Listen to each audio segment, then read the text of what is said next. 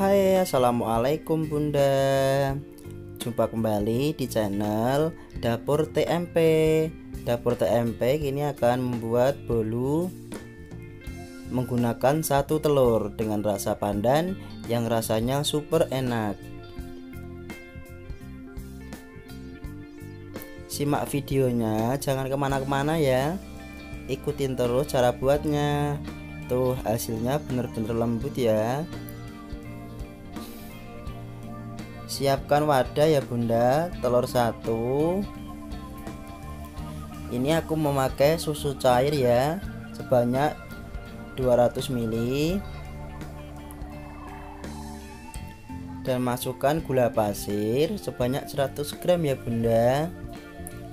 Dan ini vanila untuk menghilangkan untuk menghilangkan bau amis ya bunda dan ini SP 1 sendok teh untuk mengembang biar kuenya lebih tinggi ya. Nggak pakai juga bisa tapi kurang tinggi ya bunda. Kita mixer dengan kecepatan tinggi sampai putih berjejak. Seperti apa putih berjejak? Putih berjejak kalau diangkat adonannya turun pelan-pelan ya bunda.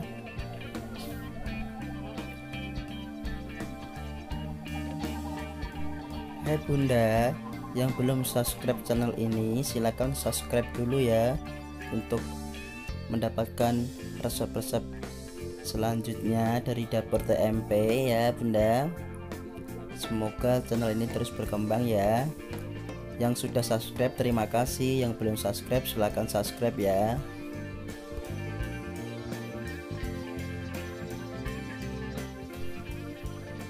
seperti ini ini udah mulai mengembang berputih berjejak ya bunda.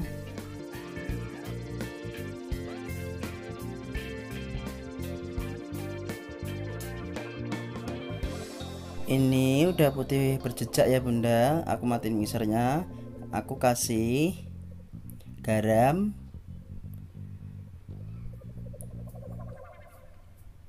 Sedikit aja garamnya ya aku kasih susu 2 sendok ya bunda. Habis itu masukkan tepung 200 gram ya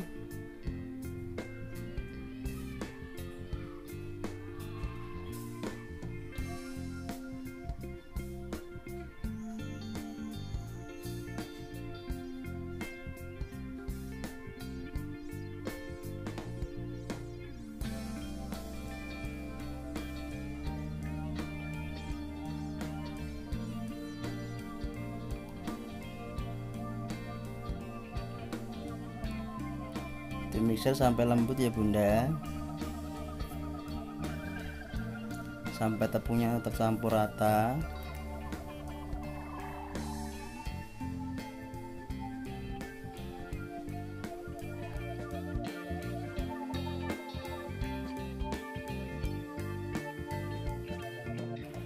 Ini udah tercampur semuanya ya bunda. Matikan mixernya lepaskan bolang balingnya kita bersihin ya bunda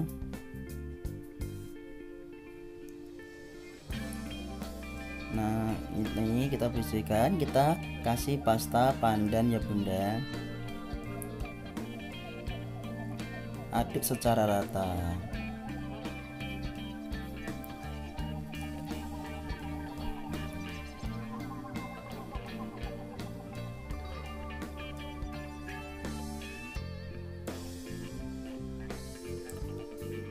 Tuangkan dalam loyang berukuran 18 bisa pakai ukuran 20 ya bunda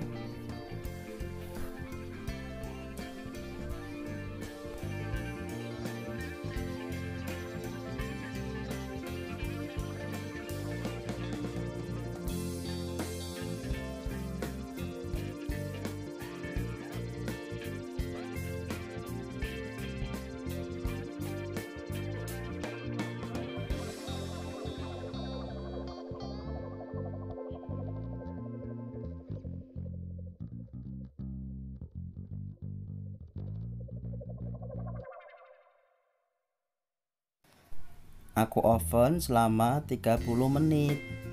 Sesuai oven masing-masing ya bunda. Nah seperti ini bunda matangnya. Bolu satu telur dengan rasa yang enak. Kita coba potong ya bunda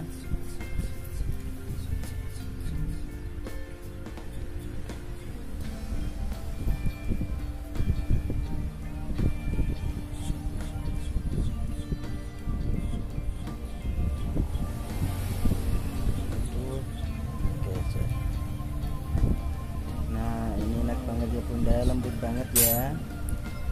Jangan lupa subscribe dan like comment share ya bunda. Semoga channel ini terus berkembang ya. Oke selamat menikmati dan selamat mencoba